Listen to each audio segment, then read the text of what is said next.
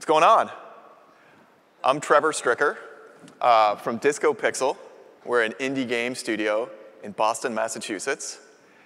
And I'm here to talk about dynamic audio, the runtime remix, generating a soundtrack at runtime. So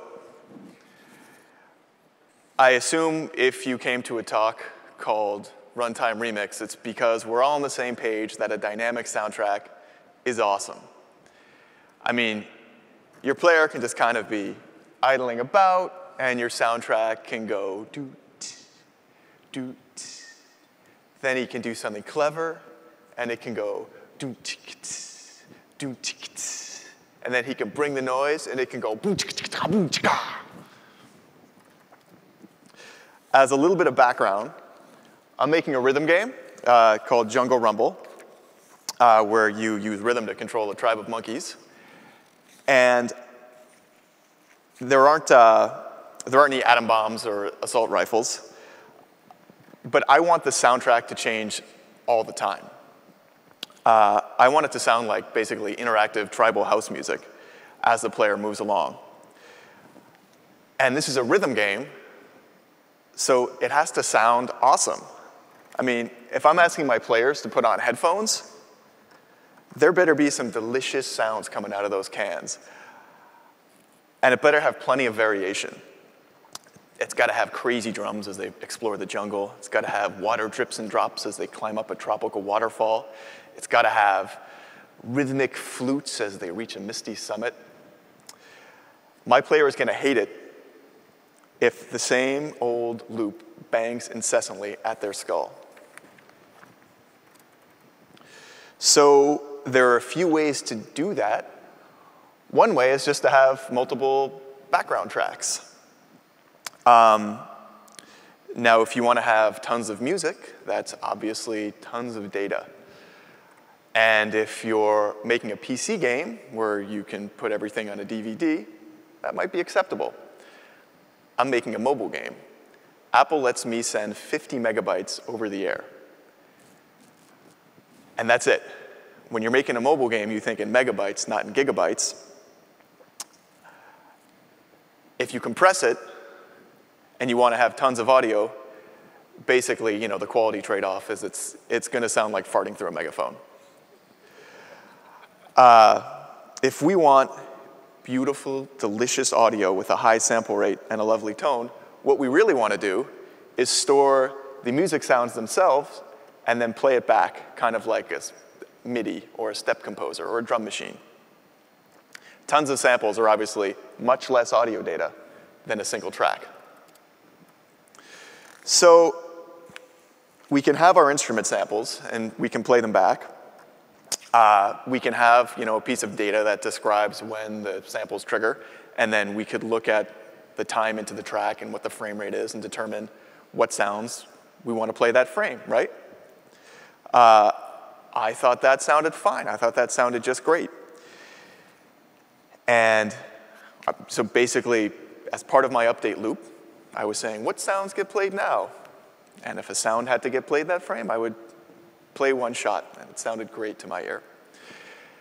And then we were, uh, a bunch of indies from Boston went to, went to this cabin in the woods of upstate New York, and I was showing it to kind of a well-known indie developer named Aaron Isaksen, who is not only a musician, he is a drummer.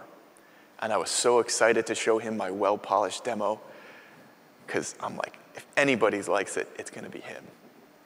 And he played it, and he couldn't even get through the tutorial. He thought it was a stinky piece of poo because the sound kept glitching. And I'm thinking, glitching, inconceivable. The timing is perfect. Maybe a, I don't know, something spun up in the background. Maybe the garbage collector started going crazy. So we fired up my beat editor because there's less stuff going on, there's no AI, there's no spline drawing. And we just made a little metronome and sure enough, it was glitching. And this is what it sounded like.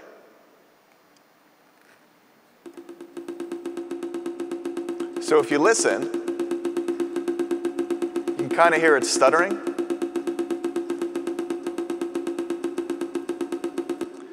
Turns out that doesn't work. Uh, you know, what are our minds? You know, sure, we, uh, we're learning machines, and, but first and foremost, it's a signal processing machine. And it turns out, when you're listening to something rhythmic or when you're matching audio to something you see, your brain can pick up timing gaps as small as three milliseconds. And my first attempt to play audio by triggering it in the frame had two important sources of randomness. The first is if you're playing it from an update loop, it depends on what order that particular component was updated. So in Unity, it depends basically on the contents of the scene. Now, if we're running our game at 60 frames per second, that's basically 17 milliseconds per frame. So that threshold of three millisecond timing, you know, there's plenty of room to mess up in there. The other thing is when you trigger a sample, there's actually a random amount of latency until the audio driver picks that up and actually gets it out to the hardware. You know, the specifics depend on the system. Typically, there's you know, some driver loop that's actually polling for updates somewhere. But it doesn't matter. That latency can be anywhere from 5 to 50 milliseconds to even more, depending on the system. So obviously, if I want to make a rhythm game with a locked-in groove, this is not going to work. So what I have to do is build the actual raw audio data at runtime on the fly. Now, fortunately, Unity gives us access to the PCM data, which is what we need to do to build this. Um, I'm assuming everybody knows what PCM data is, uh, just in case. It stands for pulse code modulation. I think some engineer at Bell Labs in the 50s envisioned that. Uh, so audio is basically a sound wave, and the PCM data is the magnitude of that sound wave encoded as an integer at different points along that wave.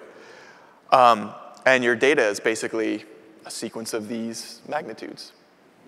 Now, uh, oftentimes you'll hear things like sample rate thrown around. CD is 44 kilohertz. Super audiophile quality is 96 kilohertz. That's basically how far apart those sample points are. You'll also hear sound referred to as 16-bit or 8-bit. And that's the size of the integer that encodes those magnitudes. Uh, so, you know, envision one-bit sound would basically be it's up or it's down. You don't have a lot of dynamic range. CD quality is 16-bit sound, which is, uh, what is that, 65K different values, which is actually considered overkill. Uh, also note, that's not bit rate, which is something for data compression, which is not what we're talking about. So to make a locked-in groove at runtime, we need to create the actual uncompressed audio that we're going to be playing back to the player. Um, so next up, I'm going to be showing some actual code of how to do this in Unity. Uh, I tried to simplify it as much as possible. Code doesn't read very well on the slide. I've actually got some handouts uh, that this dapper gentleman in the front can pass around. There's not very many of them. And I've also got this online in a sample project, and I'll give you the URL at the end. So uh, how do we actually do this in Unity? So first at the top, we actually create the buffer for the, the PCM data that we're going to put in there.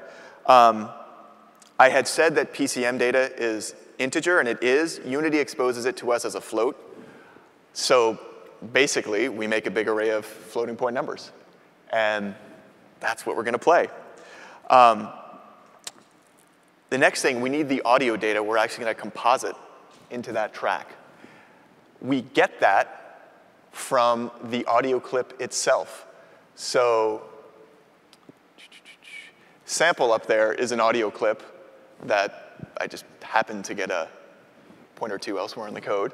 And it's got a method get data, which actually copies it into that temporary data buffer sample data. And to actually composite the sound into, our, into the music that we're making, what you do is you go through, and for every individual value in that sample, you add the magnitude to the track that you're making.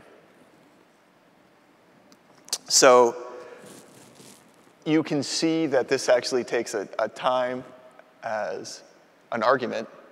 So this is a very basic way to play our sample at any point in the track that we want. So that's the building block. And uh, you know, you can swap the sample, you can change the time, and that's the basic thing.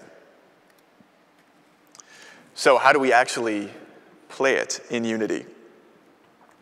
So we have this, this PCM buffer, and we actually have to put that into an audio clip. Uh, and we can do that in code.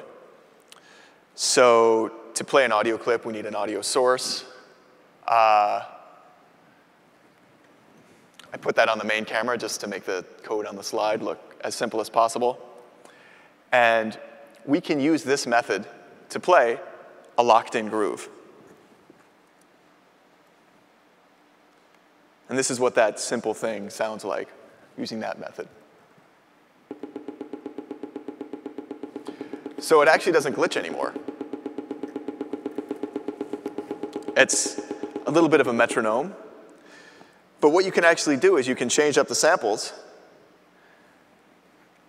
and you can get really crazy.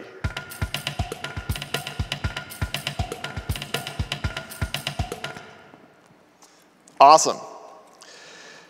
So that's the basic way we build our track at runtime. If only it were that simple. There are some wrinkles. So uh, the first is all our samples have to be at a consistent sample rate. I've been using them at 44 kilohertz. Uh, resampling at runtime is actually very difficult.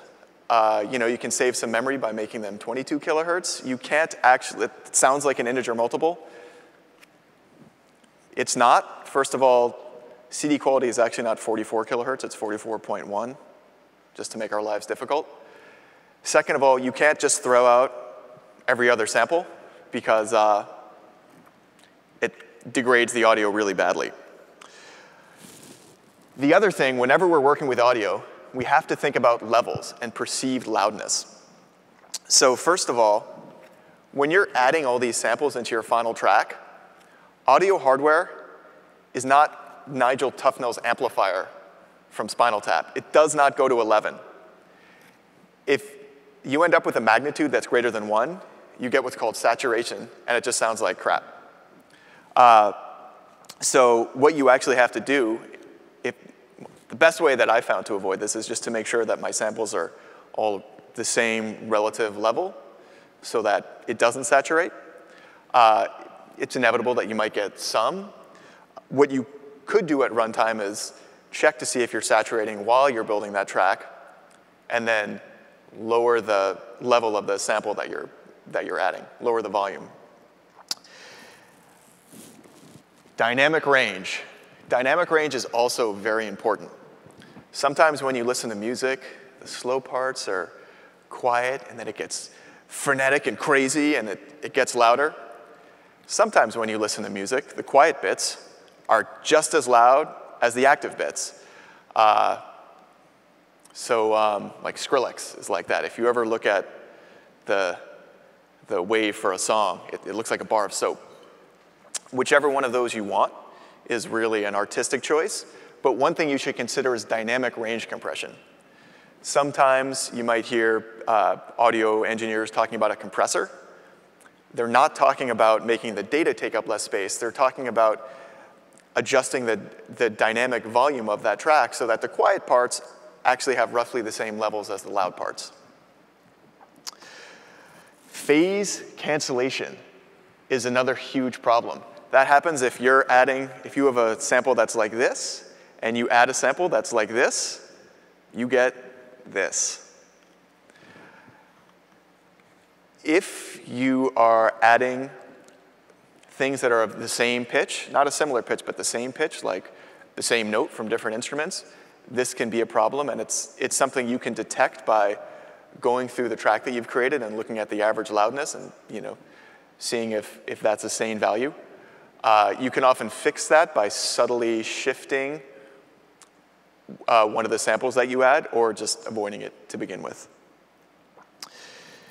Uh, The other big problem is in the example I've got here, the notes don't change pitch. If you wanted to play a melody, which is one thing we're adding to Jungle Rumble right now, you actually have to have different samples for every note that you want to add. Uh, that may or may not be a problem. You can change the pitch of your samples at runtime, but that's beyond the scope of this talk. So this works at runtime. We need to make it so that we don't drop frames as we build this track.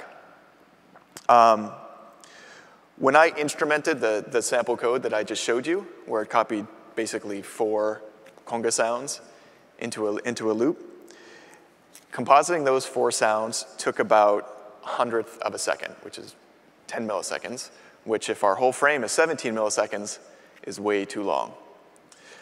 So what I do in my game is I actually slice it up so that I don't do it all in one frame. I distribute the work across multiple frames. So I'll do, you know, the first tenth of the track, one frame, and then the next tenth of the track, the next frame. So with 10 smaller slices, you can just spread it across multiple frames. The other obvious thing that I did is I copied the PCM data out of the sample every time I added it to the track. Modern architectures, copying large chunks of memory is probably the worst thing that you can do.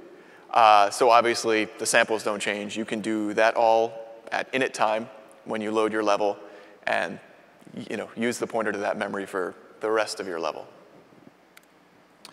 So that's it. Um, obviously, we all love dynamic soundtracks here. They make your game awesome. And the example up there is online.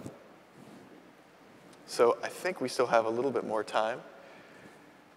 Does anybody have any questions? Yeah. Sorry, do you want to actually step up to the microphone? It might be easier.